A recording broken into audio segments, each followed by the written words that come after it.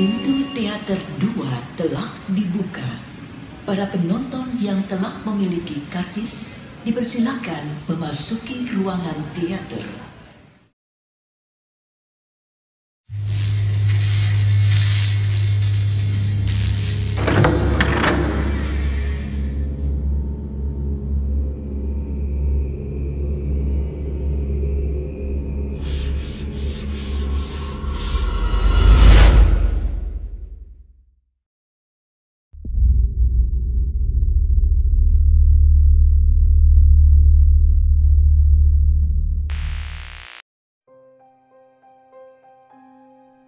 Assalamualaikum warahmatullahi wabarakatuh. Selamat malam. Jumpa lagi dengan saya Aldi di channel Mereka Ada. Di mana pun kalian berada saya doakan semoga kalian dalam kondisi sehat Dan selalu diberikan kemudahan dalam menjalankan segala aktivitas. Pada kesempatan kali ini saya akan membacakan cerita dari Mas Restu Wiraatmaja Tentang seorang mantan istri yang menyantet mantan suaminya namun sebelum mulai bercerita, pastikan teman-teman sudah support channel mereka ada dengan cara menekan tombol subscribe dan menyalakan lonceng notifikasinya, supaya selalu update saat channel ini upload video terbaru. Kalau gitu tanpa banyak basa-basi lagi, mari kita mulai ceritanya.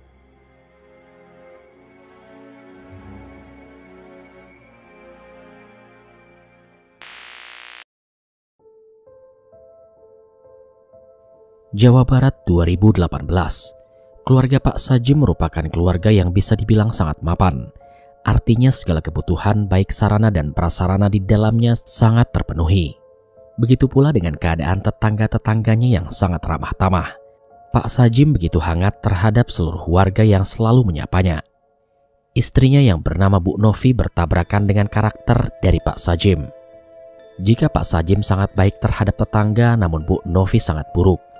Kebiasaan buruk istri Pak Sajim ini merupakan tabiat bawaan dari keluarganya yang berwatak keras. Sehingga sangat wajar jika Pak Sajim sering dimaki-maki oleh Bu Novi.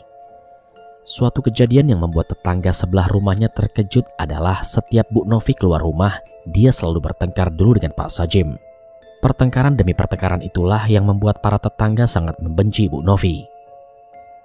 Keluarga yang sudah dibangun dengan susah payah oleh Pak Sajim kini hanya reruntuhan kenangan. Bu Novi meminta cerai kepada Pak Sajim dengan alasan dirinya tak sanggup lagi untuk bersama. Pak Sajim sontak saja terkejut mendengar hal itu. Sementara dia juga harus mengasuh anaknya yang masih berumur 2 tahun. Pak Sajim sangat terpukul dengan keputusan terburu-buru dari Bu Novi yang mengedepankan ego semata. Dan setelah dirasa telah final, Bu Novi keluar dari rumah dengan membawa segala baju-baju dan segala perlengkapannya. Awalnya pihak keluarga Pak Sajim tidak terima dengan keputusan tersebut. Namun karena mengetahui dengan detail terkait tabiat asli Bu Novi, akhirnya pihak keluarga menerima hal pahit itu dengan lapang dada. Bukan hanya itu, rumor perceraian Pak Sajim dan Bu Novi juga sudah menjadi gosip yang memalukan. Pasalnya Pak Sajim sendiri merupakan orang baik yang terbiasa memberikan makanan terhadap orang-orang yang membutuhkan. Namun hal itulah yang menjadikan harga diri Pak Sajim jatuh dan ambruk seketika. Karir dan pekerjaannya kini hanyalah sebatas impian. Semuanya hancur berantakan. Entah apa yang dipikirkan oleh Bu Novi tak kala keputusan itu mengakar kuat dalam hatinya. Namun yang digosipkan dari mulut ke mulut para tetangga rumah adalah Bu Novi melakukan hal itu semua untuk menguras seluruh harta kekayaan Pak Sajim dan menikah kembali dengan seorang dukun yang nantinya akan menyantet Pak Sajim beserta keluarganya. Kala itu tahun 2018 pertengahan bulan Agustus. Bu Novi kabarnya menikah kembali dengan seorang dukun. Apa kamu percaya, Jim? Tanya Ikhwan teman dekatnya. Ah, gak mungkin. Masa dia meninggalkan aku hanya untuk bersekutu dengan dukun? Jelas saja, Jim. Kamu belum pernah dengar rumor bahwa dukun juga bisa mengendalikan pikiran orang-orang yang lemah. Jelas Ikhwan. Misalnya seperti apa? Tanya Sajim. Misalnya seperti ini. Jika orang tersebut mendapatkan penyakit hati dan pikiran yang egois, maka dukun itu bisa merasukinya. Penjelasan Ikhwan ini membuat sedikit demi sedikit Sajim membuka pikirannya. Tapi kenapa harus istriku? Tanya Sajim.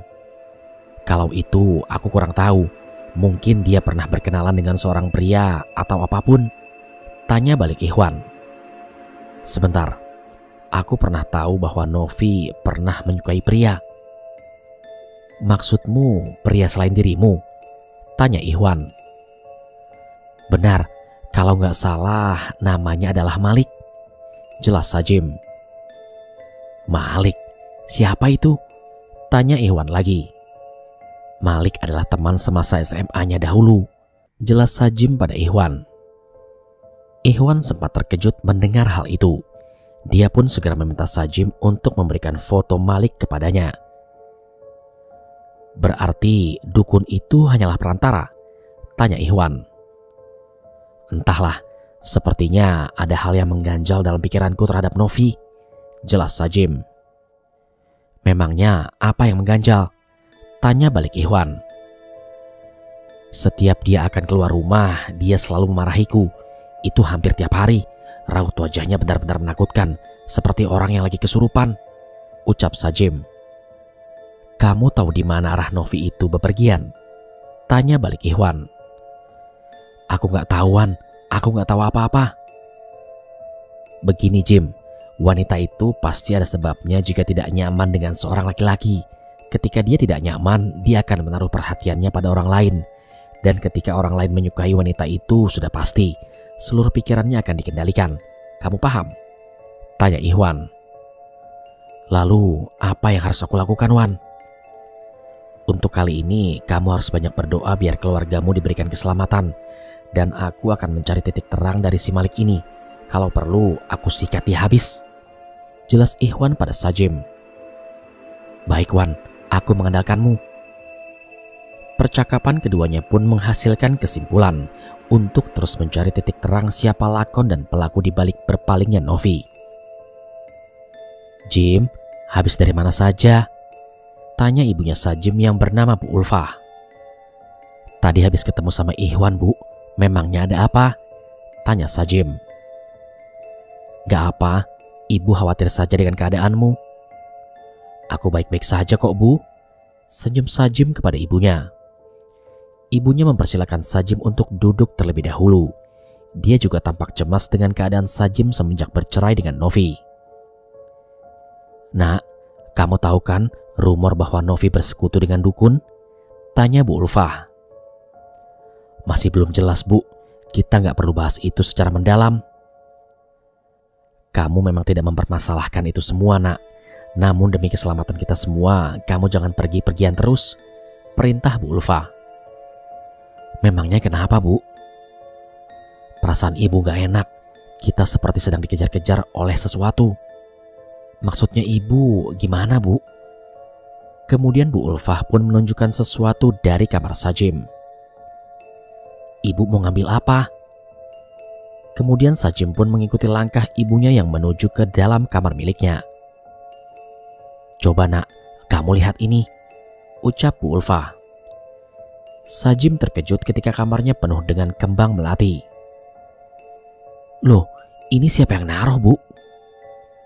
Ibu nggak tahu, nak. Tiba-tiba kamarmu penuh dengan bunga melati. Ibu takut, sangat takut sekali. Tolong kamu jangan pergi ke mana-mana ya, nak. Jelas Bu Ulfa. Bu, aku pasti jagain ibu. Amira kan juga masih kecil. Aku pengen sekali masalah ini cepat selesai. Jelas Sajim. Bapak ke mana ya bu? Bapak sedang mendatangi Kiai. Katanya dia bisa menepis gangguan ini. Jelas Bu Ulfa. Tapi kan bu, ini bukan lagi masalah yang kasat mata.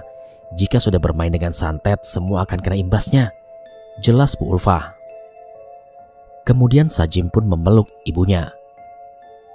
Maafin Sajim ya bu, Sajim takut ibu, Amira dan bapak kenapa-napa. Jelas Sajim. Kemudian Bu Ulfah melepaskan pelukan itu secara perlahan. Semenjak Novi gak ada, ibu sangat khawatir kepadamu. Ibu takut bila kamu adalah targetnya. Jelas Bu Ulfah. Sajim termenung sesaat. Dia salah langkah karena tak mengetahui sedikit pun tentang istrinya. Bukan hanya itu. Bagian yang tak bisa dia terima adalah bahwa istrinya telah bersekutu dengan dukun untuk memeras seluruh hartanya. Kalau bapak telah selesai, kamu boleh ngobrol lebih lanjut dengan bapak. Sekarang ibu tinggal sholat dulu ya nak. Ucap Bu Ulfa. Baik bu, ibu yang sehat-sehat ya bu, ucap Sajim. Bu Ulfah tersenyum lebar. Dalam senyumnya tergambarkan rasa kasihan yang sangat mendalam terhadap Sajim. Kemudian Bu Ulfah pergi ke kamar mandi. Dia tahu bahwa hal yang harus dilakukan ketika ikhtiar telah dijalankan adalah hanya tawakal dan berpasrah kepada Tuhan.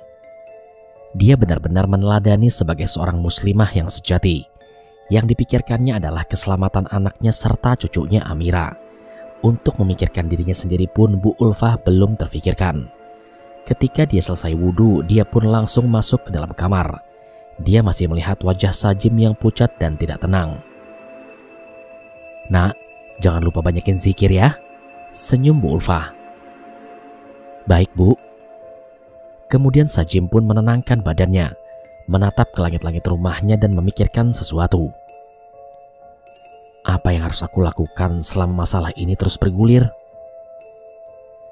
Kemudian di dalam kamar Bu Ulfah merasakan hawa yang panas yang tak biasa. Dia pun menyalakan kipas angin di kamarnya, lalu menggunakan mukena untuk bersiap-siap sholat. Kemudian dalam hati Bu Ulfah pun berkata, Allah adalah sebaik-baiknya penolong. Pandangannya terfokuskan kepada yang satu, hatinya mengarah kepada yang satu, serta mulutnya mengucapkan kepada yang satu, tetap berserah diri kepada yang kuasa, tak ada yang lebih kuat dari kuasanya. Bu Ulfah meneteskan air mata ketika dia berada di rokaat pertama, ketika dirinya mengucapkan perjanjian antara dirinya dengan Tuhan. Sesungguhnya sholatku, ibadahku dan hidup matiku hanya untuk Allah, Tuhan semesta alam. Maknanya begitu dalam, semakin dihayati tetesan air mata itu terus saja mengalir. Nafasnya naik turun, dia mengingat betapa rasa sakit anaknya menahan beban keluarganya yang sangat berat. Sholat adalah waktu yang tepat untuk mencurahkan isi kepala dan hati kepada Yang Maha Kuasa. Sholat adalah senjatanya sekarang. Setelah selesai sholat, tangan Bu Ulfah menengadahkan ke atas lebih tinggi dari pundaknya. Doa yang dia ucapkan adalah, Ya Allah, ringankanlah beban keluarga kami, hancurkanlah segala sesuatu yang mengganggu kami, dan jauhkan kami dari godaan yang terkutuk. Ucap Bu Ulfah sambil menangis. Setelah itu pandangan mata Bu Ulfah tiba-tiba menjadi gelap. Lampu di kamarnya seperti tiba-tiba mati dengan seketika. Jim, nah, coba tolong lihat tokennya, apakah habis? Ucap Bu Ulfah. Enggak kok bu, di sini nyala, kamar ibu kan nyala. Emangnya kenapa bu? Ucap Sajim. Kok di sini gelap ya nak? Kemudian Sajim langsung berlari ke arah kamar Bu Ulfa. Bu, ibu gak apa-apa? Tanya Sajim pada ibunya. Jim, tolong ibu Jim, di sini gelap. Ibu gak bisa ngeliat apa pun di sini. Jelas Bu Ulfa. Bu, buka pintunya, buka. Teriak Sajim. Gak bisa nak, ibu gak bisa melihat ke arah pintu. Semuanya gelap, ibu gak bisa lihat. Sajim berkali-kali mendobrak, namun dari dalam kamar dia mendengar sesuatu dengan suara yang lirih namun menyeramkan. Ibumu bakal mati. Ucap suara tanpa rupa itu. Sontak Sajim mundur beberapa langkah dari depan pintu.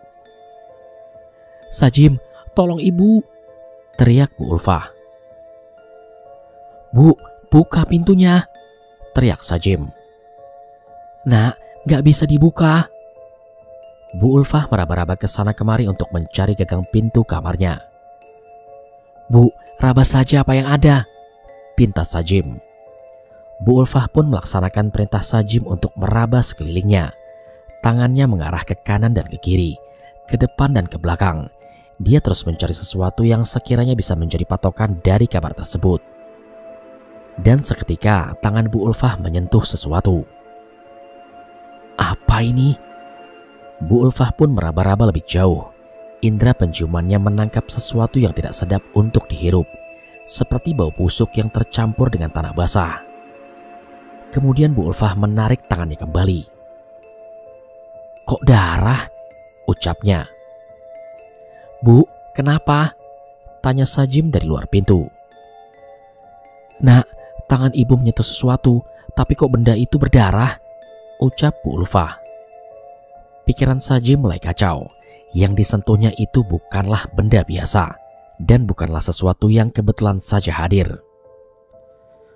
Po, pocong! Ucap Bu Ulfa dengan mulut bergetar. Kemudian tubuhnya ditarik ke belakang menggunakan tangannya. Dia mundur merangkak untuk menjauhi sosok yang diyakini pocong tersebut. Jim, Sajim, tolong ibu nak. Teriak Bu Ulfa. Sosok itu mendekat perlahan ke arah Bu Ulfa. Sajim terus mendorong pintu dengan keras, namun tak ada hasilnya. Dia pun keluar sebentar untuk meminta pertolongan. Pak, tolong, tolong kami pak. Teriak Sajim. Sontak saja para warga segera mendekati Sajim. Ada apa Pak Sajim? Tanya para warga. Tolong ibu saya pak, dia terjebak di dalam kamar. Ibu saya diserang santet kiriman oleh orang. Jelas Sajim kepada para warga. Para warga itu masuk ke dalam rumah Sajim untuk membantu mendobrak pintu itu secara bersama-sama. La haula wa quwata illa billah. Ucap Bu Ulfa secara perlahan namun mengena. Dia tak habis pikir. Dunia gaib yang diisukan hanya sebatas bualan kosong dan rumor yang beredar kini menjadi kenyataan. Di hadapannya telah berdiri tegak sosok pocong dengan muka hancur. Tubuhnya merinding, bergetar hebat dan pikirannya kacau balau. La haula wa quwata illa billah. Pocong itu membelakangi tubuhnya. Dia seperti hendak pergi. Pikiran Bu Ulfah menjadi semakin membaik. Namun, tiba-tiba pocong itu menyerang Bu Ulfah dengan tanpa diketahui dan dibaca pergerakannya. Seketika Bu Ulfah terpental hingga tubuhnya menabrak lemari kamar. Barang-barang di atasnya pun berjatuhan koper, bed cover, bantal, dan yang lainnya. Semuanya berjatuhan secara serentak dan mengenai kepalanya. Allah, Allah. Hanya itu yang diucapkan dari mulut Bu Ulfa. Dia tak pernah berhenti menyebut nama Allah sebagai pelindungnya. Pocong itu kemudian menghilang seketika dan pintu berhasil didobrak. Bu, ibu, teriak Sajim yang melihat kepala ibunya sudah berlumuran darah. Mas, ini santet. Ucap warga ketika melihat bekas tanah kuburan yang berada di dekat pintu kamar Bu Ulfah. Saya tahu pak, dan yang melakukan ini adalah mantan istri saya, Novi. Jelas Sajim. Tiba-tiba dari luaran Sajim mendengar teriakan memanggil namanya. Jim, Sajim. Ikhwan datang dengan nafas tersengal-sengal dan naik turun. Jim, Jim, Wan, kenapa kamu Wan? Istri lu, dia dikendalikan oleh orang yang namanya Malik. Ucap Iwan. Hah, yang benar kamu Wan? Sajim pun terkejut bukan kepalang. Selama ini Novi dikendalikan tubuhnya oleh Malik. Nak, ucap lirih Bu Ulfah. Bu, jangan bergerak. Wan, tolong Wan, tolong bawa ibu gua sekarang ke rumah sakit. Ikhwan segera meningsek maju dan menggotong tubuh Bu Ulfah. Para warga kemudian kehilangan respect. Maaf ya mas, saya nggak bisa ikut bantu. Saya nggak mau terlibat. Emosi Sajim kian menambah ketika perkataan warga itu membuat hatinya terluka. Dia tahu para warga tidak ingin terlibat lebih dalam masalah ini. Namun attitude para warga sangat jelek di mata Sajim. Silakan, bapak-bapak bisa pulang. Ucap Sajim dengan tegas. Kemudian para warga meninggalkan Sajim yang termenung ketika mendapati warga di sini berubah sikap kepada keluarganya. Wan, ayo bawa ke rumah sakit. Ayo Jim. Ikhwan kebetulan membawa mobil. Dia pun segera membawa Bu Ulfah ke rumah sakit terdekat. Jim, santai, jangan emosi. Para warga di sini tidak ada keinginan buat nyakitin lu. Semua ini berawal dari Novi yang kurang baik kepada mereka. Jelas Ikhwan. Iya Wan, makasih ya. Iya Jim, sama-sama. Ikhwan melajukan mobilnya dengan sangat cepat. Wan, jangan cepat-cepat. Tengah malam seperti ini membuat suasana agak mencekam. Jalanan sangat sepi. Wan, tadi lu ngomongin tentang Novi. Apa maksudnya? Apa hubungannya dengan Malik? Tanya Sajim. Malik, Dia adalah orang yang pernah mencintai Novi, namun ditolak oleh Novi semasa kuliah dulu. Memangnya lu tahu dari mana? Kebetulan gue punya kenalan yang namanya Farah. Dia adalah teman satu kampus dengan Malik. Oleh sebab ditolak dan tahu bahwa Novi akan menikah sama lu, dia nggak berhenti untuk menjerumuskan pikiran Novi terhadap kegelapan. Dan dia berhasil mempengaruhinya. Kok bisa ya? Jadi selama Novi menikah sama gua, pikirannya ingin digelapkan oleh Malik? Tanya Sajim. Ya sepertinya begitu. Namun yang lebih parah, kalau gue lihat tadi di rumah lu, dukun yang menjadi perantara Malik sangat kuat. Jelas Ikhwan. Sangat kuat. Ilmunya. Ya ibaratnya begitu. Gue minta banget nih sama lu untuk segera menemui Novi secepatnya. Karena dia bisa dalam keadaan bahaya. Tapi gue carinya ke mana Wan? Kita tanya Farah aja. Namun tiba-tiba Awas Wan! Hampir saja mobil Ikhwan menabrak anak kecil berusia tujuh tahun dengan menggunakan kolor putih. Anak siapa itu malam-malam keluyuran? Jelas Sajim. Itu mah bukan manusia, tapi tuyul, ucap Ikhwan. Tuyul? Lihat, dia hilang kan? Lah iya, kok dia menghilang Wan? Ikhwan melanjutkan perjalanannya menuju rumah sakit. Ikhwan enggan memberitahu mengenai kejadian yang baru saja terjadi. Mobilnya sampai ke rumah sakit terdekat dan menuju ke tempat parkiran. Jim, lu bawa ibu lu ke ruang IGD, biar aku di sini, ucap Ikhwan. Memangnya kenapa, Wan? Pocong itu masih ngikutin lu. Pocong yang ngelukain ibu gua? Tanya Sajim. Pocong itu kiriman, jadi dia harus diusir dulu namun itu juga belum cukup sebelum tuannya tertangkap. Jelas Ikhwan. Tapi gimana bisa lu tahu? Tanya Sajim. Ikhwan kemudian membuka pintu mobilnya. Dia memanggil suster untuk membawakan kursi roda untuk Bu Ulfa. Sus, tolong bawa ibu teman saya. Dia pendarahan parah. Cepat, Sus. Baik, Pak. Jawab suster itu. Lu jaga ibu lu sebentar ya. Jelas Ikhwan. Wan, lu gak lama kan? Sebentar, nanti gua nyusul.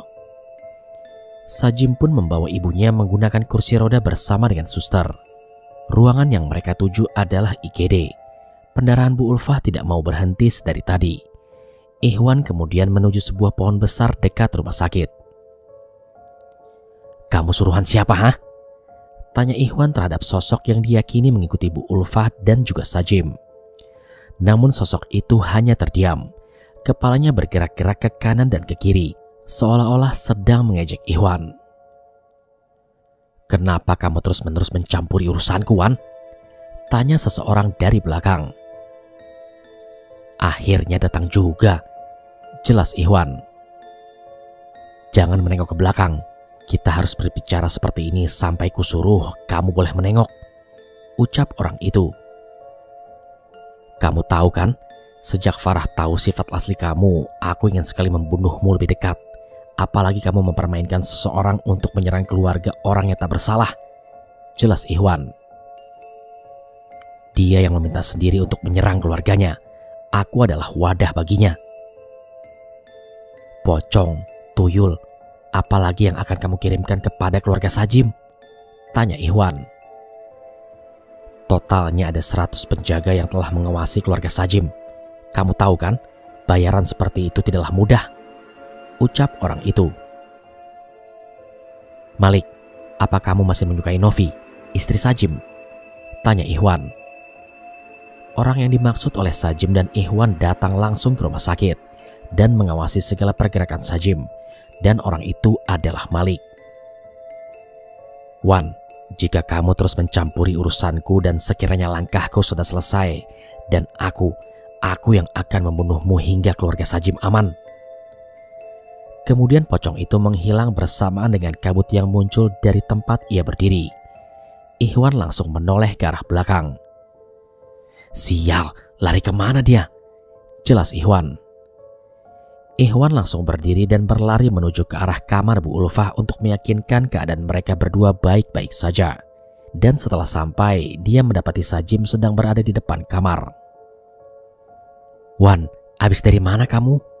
Tanya Sajim. Habis ngusir pocong itu, kenapa emangnya? Tanya Ikhwan. Ibuku diperkirakan gegar otak, pendarahannya baru saja berhenti.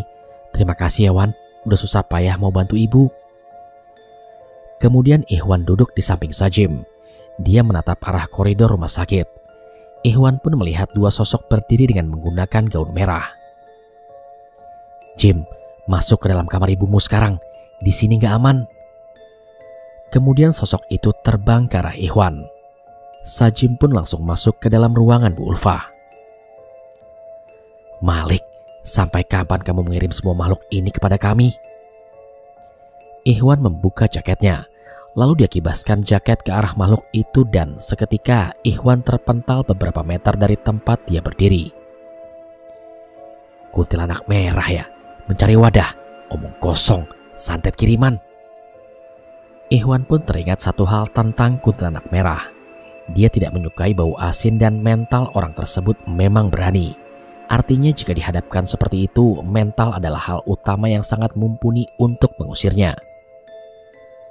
Ke sini kamu merah, teriak Ikhwan. Dua kuntilanak merah itu terbang ke arah Ikhwan, dan dengan cepat Ikhwan menaburkan garam tepat ke wajah kedua kuntilanak tersebut. Alhasil mereka merasakan kesakitan dan pergi menembus langit-langit ruangan. Jika ada 100 makhluk yang dikirimkan oleh Malik, berarti tinggal 96 lagi makhluk yang belum nampak. Aku tahu, pasti mereka sedang memperhatikan keluarga Sajim dan Bu Ulfah pikir Ikhwan saat itu. Dia pun kemudian melangkah kembali menuju ruangan Bu Ulfah dan mengetuk pintu sebanyak tiga kali. Jim, keluar, pinta Ikhwan. Sajim membukakan pintu. Dia menengok ke kanan dan ke kiri ruangan. Tadi ada suara teriakan siapa itu? Tanya Sajim.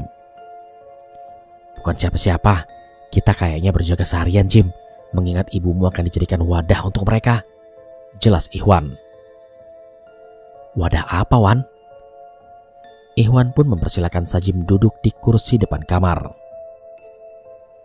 Ibumu itu adalah muslimah yang taat.